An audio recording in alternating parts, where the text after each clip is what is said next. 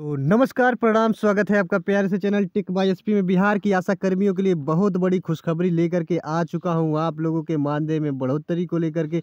तो वीडियो शुरू करने से पहले मेरा आपसे एक ही रिक्वेस्ट है, अगर आप मेरे चैनल पे नए हैं तो प्लीज़ चैनल को लाइक कर लीजिएगा सब्सक्राइब कर लीजिएगा और बेल आइकन दबा लीजिएगा। इससे क्या होगा, बिहार के आशा कर्मियों से जितनी भी अपडेट आएँगी, सबसे पहले आपको देखने और सुनने को मिलेगा। तो जैसा कि मैं आप सबको बता देना चाहता हूँ कि आज एक मार्च है, एक मार्च को बहुत बड़ी खुशखबरी आप लोगों के बीच में लेकर के आ गया हूँ। आप लोगों के मानदेय को लेकर के सब कुछ आज इस वीडियो में आप लोगों को क्लियर हो जाएगा कि आप लोग का मानदेय कितना बढ़ाया गया है और कब से आप लोगों का मानदेय मिलना स्टार्ट हो रहा है। तो बिहार के सभी आशा कर्मियों को बता देना चाहता हूँ कि आप लोगों के मानदेय में जो है पूर्ण रूप से वृद्धि कर दी गई है। बिहार सरकार ने यानी सम्राट चौधरी जी ने ऐलान करते हुए कहा है कि बिहार की आशा कर्मियों को जो है सम्मानजनक वेतन दिया जा रहा है। अब बिहार की आशा कर्मी जो है अठारह हज़ार रुपये पाएँगी, साथ ही साथ उनको डीए प्लस एचआरए की भी सुविधा उपलब्ध कराई जाएगी। यानी ये कहिए कि बिहार के आशा कर्मी अब सरकारी कर्मचारी का दर्जा पा चुकी हैं। उन सभी आशा कर्मियों को जो है अच्छी खासी सैलरी के साथ आप लोगों को रिटायरमेंट का पेंशन भी दिया जाएगा।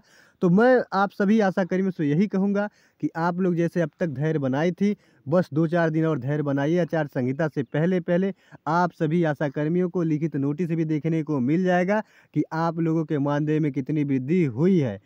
उम्मीद करता हूँ कि आप लोग भी कई चैनलों के माध्यम से देखे होंगे कि एक मार्च को जो है, बिहार की आशा कर्मियों के मानदेय में बढ़ोतरी को लेकर के बहुत बड़ी खुलासा होने वाली थी।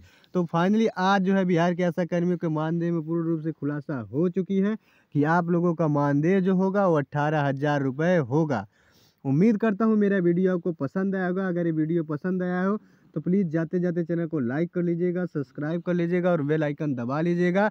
और एक बात अपने माइंड से निकाल दीजिएगा कि आप लोगों का मानदेय तो बढ़ेगा नहीं, लेकिन आप लोगों का मानदेय पूर्ण रूप से बढ़ेगा। लोकसभा का चुनाव है तो उससे पहले पहले बिहार के आशा कर्मियों का मानदेय बढ़ाया जाएगा। धन्यवाद। जय हिंद।